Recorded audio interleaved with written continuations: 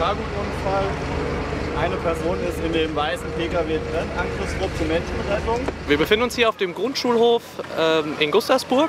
Angenommene Lage war ein Verkehrsunfall zwischen einem Transporter und einem Gefahrgut-LKW. Der Transporter hat angefangen zu brennen und dort war noch der, eine Person im Fahrzeug und aus dem Gefahrgut-LKW ist eine unbekannte Flüssigkeit ausgetreten. Die Tätigkeitsschwerpunkte lagen darin, dass der Fahrzeugbrand gelöscht werden musste. Es musste eine Riegelstellung zum Schulgebäude aufgebaut werden. Wir mussten die Leckage schließen, einen Schaumteppich drumherum legen, damit keine Brandgefahr ausgeht und die Leckage verschließen.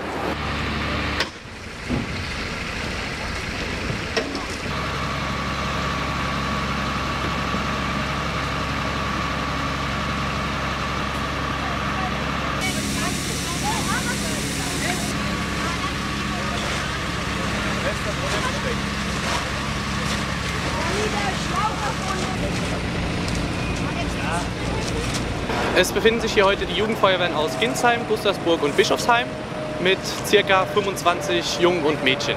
Bei uns findet es traditionsgemäß statt, weil wir die Mainspitzgemeinden äh, eng zusammenarbeiten, dass einmal im Jahr zusammen eine Abschlussübung stattfindet und die wird jährlich äh, von einem anderen Ortsteil ausgeführt. Und dieses Jahr hatten wir die Ehre, die Übung auszuführen.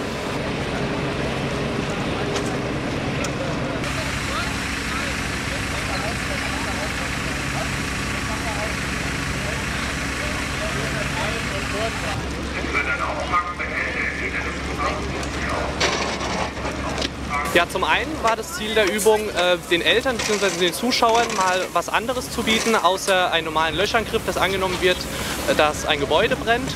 Und zum anderen wollten wir den Jugendlichen, da ähm, ja die Möglichkeiten der Jugendfeuerwehr sehr begrenzt sind, mal mit Schaum zu arbeiten oder mal einen Gefahrgutaustritt anzunehmen, mal die Möglichkeit geben, publikumswirksam was Spannendes zu machen, um äh, den Spaß und das Interesse dann noch ein bisschen mehr zu bestärken.